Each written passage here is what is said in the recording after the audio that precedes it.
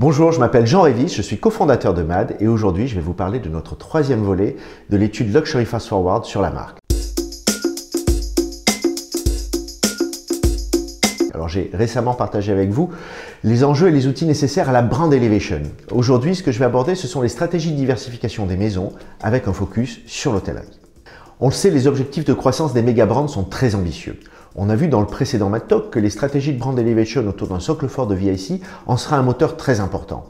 Mais alors que ces maisons couvrent déjà la quasi-totalité des catégories du luxe produit, pourrait-elle être tentée d'aller chercher ailleurs de nouveaux boosters? C'est un sujet où la question de la marque est fondamentale.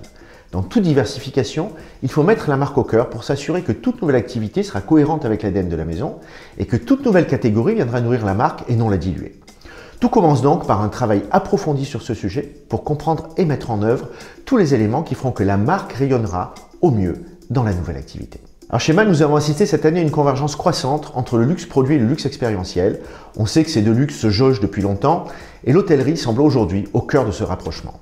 D'un côté, on a vu des hôteliers tentés par le luxe produit. Soho House est sans doute un pionnier avec sa ligne de beauté Cowshed et le développement de Soho Home qui propose meubles et accessoires de décoration. Deux modèles très différents. Cowshed est une marque indépendante qui semble peiner à prendre son avol, notamment à cause d'une distribution trop restreinte. De l'autre côté, Soho Home mise sur une stratégie retail et e-commerce qui capitalise sur les hôtels du groupe, les transformant en autant de showrooms. On a vu aussi que l'Orient Express, le Ritz sont rayonnés par leur pop-up ou leur collaboration. Et Aman est rentré cette année chez Harrods, dans le temple du luxe, avec sa ligne Aman Essentials. Alors faut-il y voir une simple tendance ou quelque chose de plus durable, construisant le socle d'un business pérenne? Les bénéfices attendus par les groupes hôteliers sont nombreux. D'un point de vue de l'image, il s'agit de partager largement une expression matérielle et concrète via un produit d'une dimension qui est généralement immatérielle, qui est l'expérience dans les hôtels, afin de clarifier davantage encore une image parfois floue, surtout quand les hôtels possèdent trop d'établissements très hétérogènes et sont peu brandés.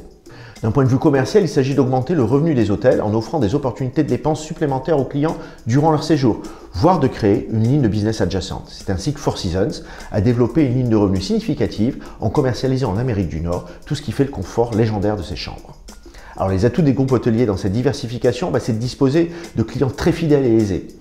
C'est de disposer de marques puissantes qui portent parfois des noms et un patrimoine légendaire et c'est de maîtriser mieux que quiconque ce que les maisons de luxe produits recherchent en permanence, un service impeccable. Mais viennent trois questions clés. Quelle distribution?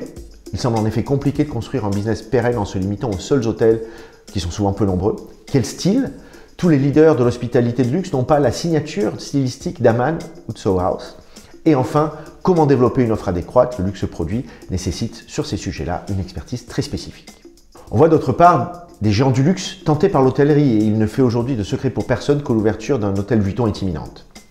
Les flirts des maisons avec l'hospitality se sont multipliés ces dernières années avec des flagships ouvrant une suite, notamment Boucheron ou Dior. Alors à l'ère où l'immersion dans la marque devient une obsession et où la connaissance intime des clients devient une nécessité, où le voix sur les réseaux sociaux devient un impératif, l'hôtellerie est une piste évidente. Bulgari utilise depuis longtemps ses hôtels pour élargir sa base de clients. Armani s'en sert de showroom pour sa ligne maison et c'est d'ailleurs une piste très intéressante pour cette catégorie qui prend tant d'espace dans les boutiques. Indéniablement, les leaders du luxe produit possèdent un pouvoir d'attraction supérieur à celui des groupes hôteliers, mais seront-ils légitimes dans cette nouvelle activité? Ils ont une base de fans et de VIC qui est substantielle, mais seront-ils ou devront-ils séduire une base plus large de clients pour créer une activité durablement viable? Car se pose derrière la question euh, la plus importante peut-être, celle de réconcilier deux modèles économiques très différents. Le luxe produit s'ancre sur des modèles qui sont généralement totalement intégrés. Et saura-t-il dégager des marges non dilutives alors que les investissements et les ROI sont très différents dans ces deux industries?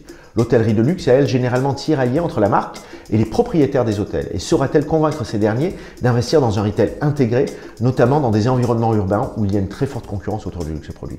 Donc c'est une nouvelle bataille qui s'annonce avec des défis pour ces deux industries. La question c'est, qu'elles pourront toutes les deux tirer leur épingle du jeu Ce qu'on voit, c'est que la marque est l'asset le plus précieux des maisons. Il est capital de l'utiliser et de la nourrir pour la mettre efficacement au service de la croissance.